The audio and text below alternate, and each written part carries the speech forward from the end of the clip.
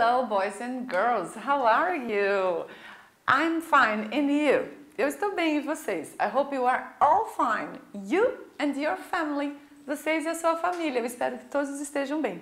Welcome to our English class number 19. Bem-vindos à aula 19. We're going to talk about compreensão geral e específica. A gente vai trabalhar com skimming e scanning. Nossa, teacher, o que é isso? Já vou explicar.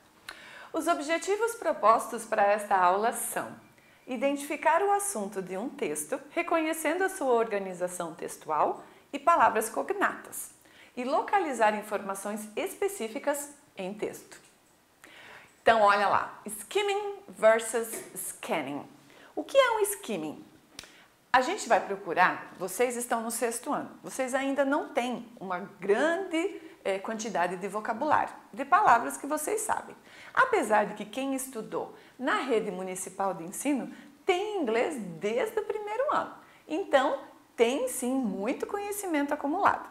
O que, que a gente faz? Dentro dos textos que a gente vai, é, vai ler com o passar do tempo, sempre com o material, nós vamos procurar sempre descobrir as palavras que nós conhecemos dentro daquele texto.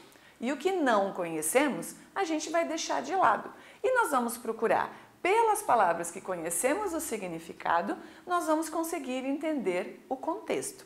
Já o scanning é como eu faço. Eu sou quase fluente. Não sou fluente porque não nasci lá, não é? Eu sei as palavras que aprendi, consigo me comunicar muito bem, consigo entender músicas, consigo entender pessoas é, americanos ou então britânicos falando, mas ainda existem palavras que eu não sei, não tem como eu saber tudo.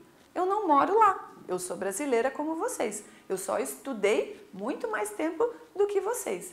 Então, essas palavras que eu não sei, eu vou procurar. Então, eu faço um scanning.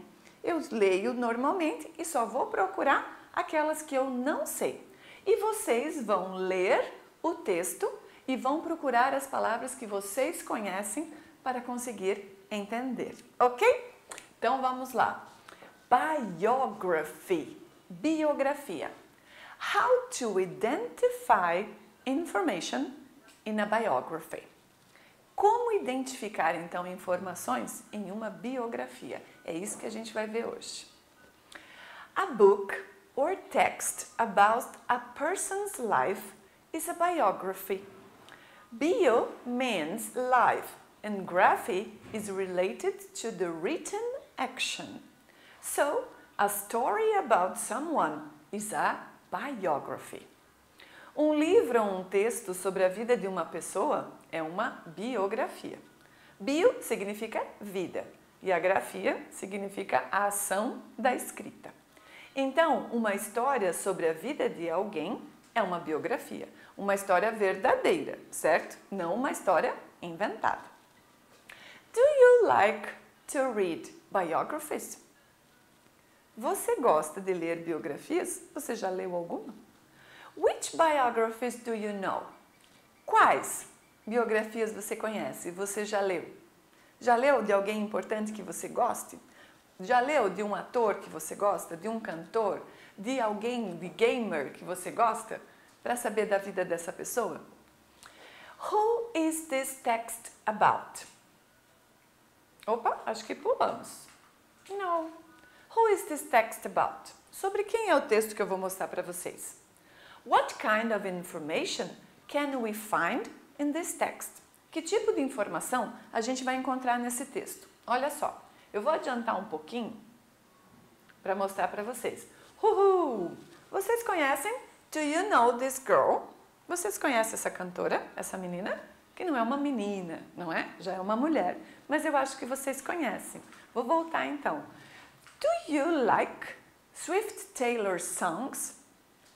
And the text is about the famous singer Sweet Taylor. Is a biography. Então, vocês conhecem? Vocês já ouviram as músicas da Taylor Swift?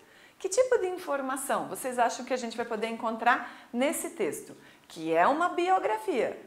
Vamos falar sobre a vida dela. Biography. Olha só. A gente tem então um site que foi pesquisado para vocês que é o site Biography. Todos que vocês quiserem encontrar lá, vocês vão encontrar. E se você vai dizer assim, teacher, eu ainda não vou conseguir ler tudo isso daqui, eu não vou entender. Você tem sempre a opção no canto da tela, lá do seu computador, de você colocar para português, tá? Então, nesse caso, quando você quiser treinar e quando a gente treinar aqui na aula inglesa, ok. Quando por acaso você achar que está meio difícil, você pode sim optar por colocar em português. Who is Taylor Swift? Eu vou colocar para vocês o texto. Esse texto não vai ter tradução, porque é bem para isso que a gente vai precisar agora dele em inglês, para nós identificarmos, para nós fazermos o skimming das palavras que vocês conhecem. Eu vou fazer a leitura dele mais vagarosamente. E você, lá no seu material ou no seu caderno, você pode, por exemplo, pausar esse vídeo e destacar desse texto todas as palavras que você sabe o significado, certo? Que você conhece o significado. Por exemplo, se você colocar musician, você fala, ai, eu lembro, eu já vi essa palavra, mas agora não estou me lembrando qual é o significado. Então não destaca, ok? Destaca só aquelas que você sabe o significado. Depois do final da leitura, você vai em cada uma das palavras que você conhece o significado e vai juntar as peças. Todas aquelas que você conheceu vão, vai te dar essa oportunidade de saber sobre o que o texto fala, certo? Esse é o fato, esse é o, o, o projeto que a gente tem de skimming, ok?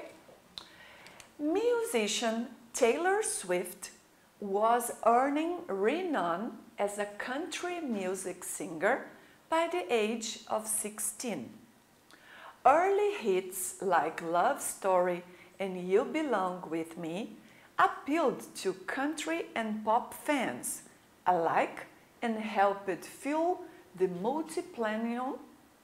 multi-platinum, success of her albums, including the Grammy-winning Fearless 2008.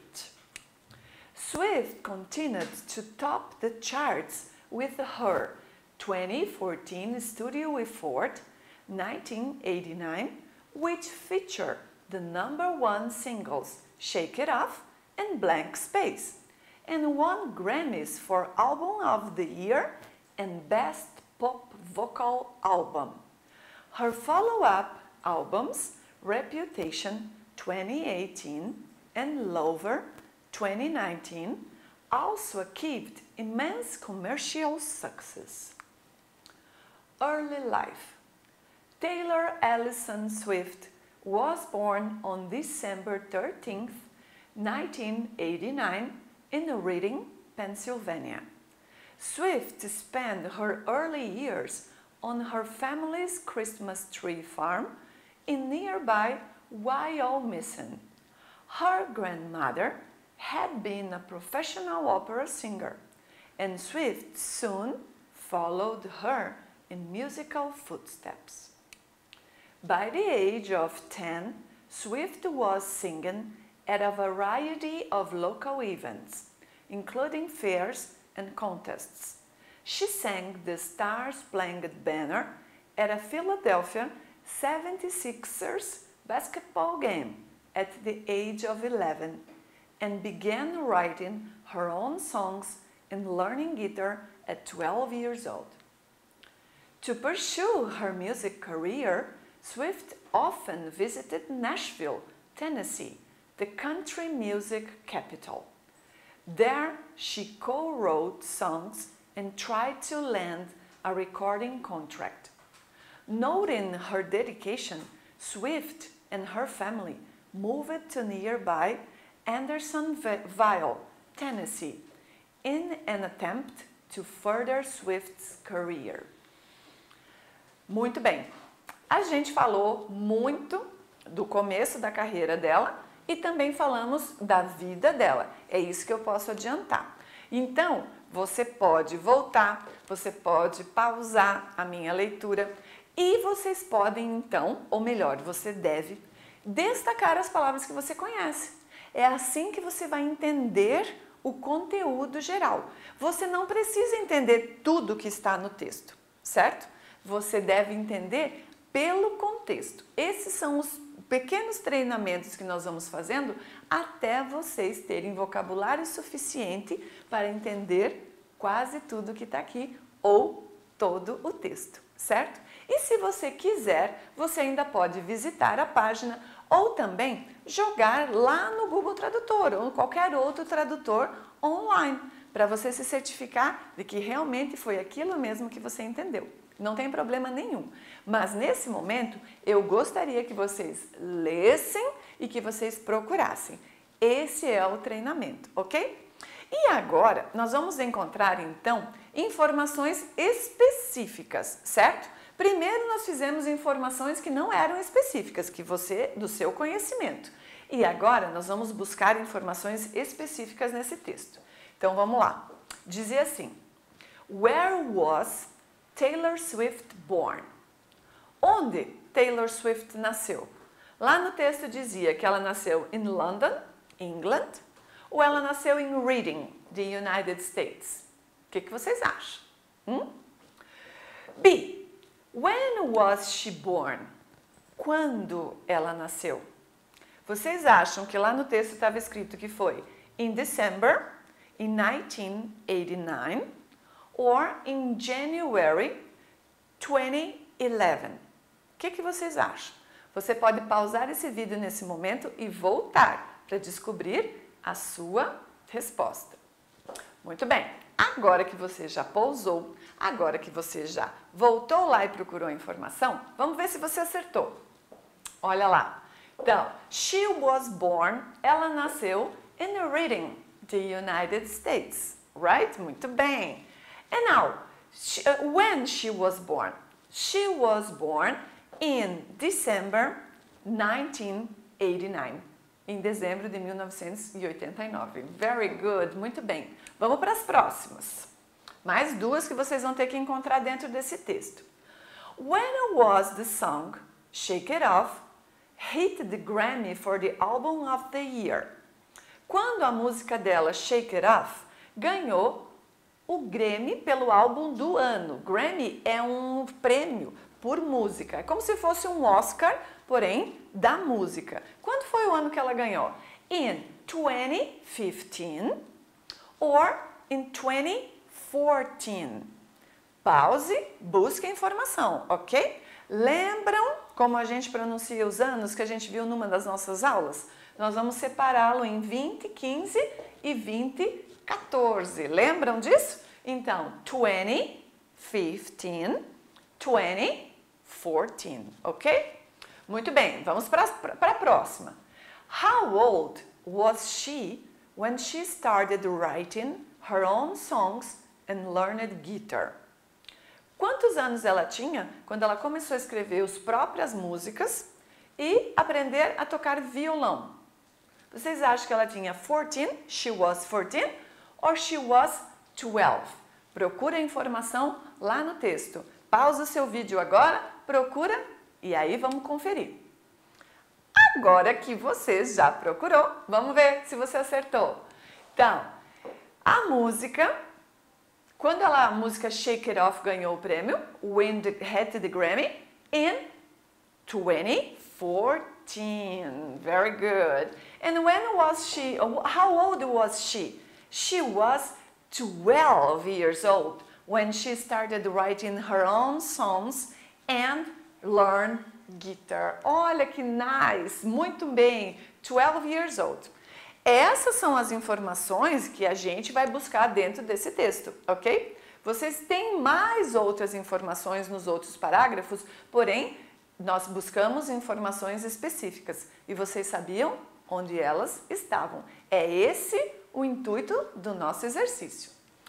Aprendemos hoje a entender o contexto da biografia de alguém, né? Do contexto de uma biografia através de palavras que temos conhecimento prévio. É isso que eu falei para vocês. Que vocês já aprenderam no ensino fundamental, que vocês já aprenderam nas músicas, nas séries que vocês gostam, nos jogos. Todo mundo fala dos jogos, mas eu tenho que confessar que se aprende muita coisa jogando, muitas palavras. Mas palavras boas, hein, galera? Deixem os palavrões de lado. Assim como aprendemos a encontrar informações específicas dentro de um texto, aprendemos a, usamos as que sabemos e usamos a informação específica através do conhecimento prévio de palavras e expressões. E com o passar do tempo, você vai aprendendo mais vocabulário, mais palavras, mais expressões e mais verbos. E isso vai te ajudando a compreender e a conseguir também falar, ok? So, Our class is over. Nossa aula está terminada. Eu espero que vocês tenham gostado. E espero que vocês tenham gostado do tema que eu trouxe, porque eu particularmente gosto muito da Taylor Swift. Por isso coloquei ela. Até tinha uma outra pessoa, um outro cantor também que eu gosto muito e foi muito difícil eu escolher, mas eu escolhi a Taylor Swift. I hope you have enjoyed also. Espero que vocês também tenham gostado.